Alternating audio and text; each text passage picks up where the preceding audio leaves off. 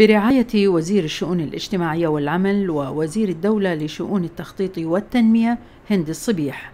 شاركت دولة الكويت دول العالم في الاحتفال باليوم العالمي للمسنين وقدم أبناء الرعاية الاجتماعية الأوبريت الوطني بعنوان عطايا المسنين والذي أظهر الدور الكبير لهم والخدمات التي تقدم من قبل وزارة الشؤون الاجتماعية صحيا واجتماعيا ونفسيا. هذا يوم احتفالنا فيه كوزارة شؤون احتفال رمزي.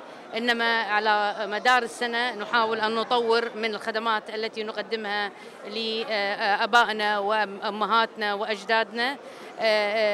المسن هو بركة كل بيت. نحافظ على وجوده في البيت فنقدم له كل العون والمساعدة في بيوتهم حتى لا تزول هذه البركة من هذه البيوت.